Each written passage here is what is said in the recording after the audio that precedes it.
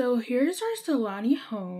So it looks like my terrain paint deleted, but I did not do a voiceover for this. So my thought process is I was thinking that this person could be a mermaid and maybe they are a mixologist and they host like a lot of small parties here. So that was kind of my thought. But I did hide the mailbox right behind this little surfboard sign. Then we have our trash can on the porch. I just put a bench and some fruit. And when you walk in, this is the living room space. I think it's pretty nice. I love the colors in here. And then this is like a little half bathroom for the guests. And then over here, they can just put their coat down if they want to. We have a very small kitchen space. We do have the kava bowl. And then we have a very small stair landing. So this is the full bathroom. They have everything they need up here. And then this is the main bedroom. So it's pretty nice. They have their chest, which is not functional. You cannot put anything in it. And you have a desk and a bonsai tree. And then on the outside, we just have two picnic benches. We have our nice little pool. We have our lounge chairs. We have the bar, some music, and and these very cool balloon type of thingies. So I thought that was cool. And then over here, we just have the grill. And that is the full build. Hopefully you guys enjoyed it. I think it came out pretty nice. So I will upload it to the gallery. My gallery ID is just Sims Deelicious if you want to go check it out. And it is only using Island Living, so this is a limited pack build, thankfully. Hopefully that is helpful for a lot of you. And I did forget to put the terrain paint back, so I'm so sorry for that. But if you enjoyed this video, please like, comment, and subscribe. I love you, you are important, and I will see you guys soon. Bye!